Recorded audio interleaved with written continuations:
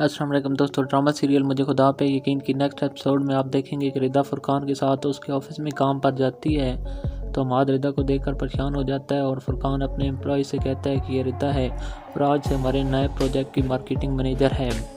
तो माद गुस्से से फुरकान के पास जाता है और कहता है कि तुमने उसे यहाँ जॉब पर क्यों रखा है? जिस पर फुरकान माद से कहता है कि ये मेरा ऑफ़िस है और मैं जैसे चाहूँ, यहाँ उसे जॉब पर रखूँ।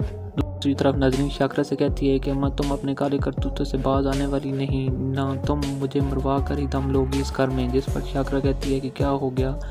क्यों आग बगोला हो रही हो? बचपन से देखती आ रही हो, कौन सा नया काम है तुम्हारे लिए? जिस पर नजरीन कहती है कि बचपन से मैं देखती आ रही हूँ अमाद नहीं अगर है, उसे पता चला कि तुमने उस पर तवीज़ करके उसे रिद्दत से दूर किया है तो वो हम दोनों को घर से निकाल देगा। दूसरी तरफ़ हमाद नजरीन से कहता है कि तुमने चोरी की है और तुम पकड़ी गई हो, जिस पर नजरीन परेशान हो जाती है और हमाद से कहती है कि मैंने तो कोई चोरी नहीं की है।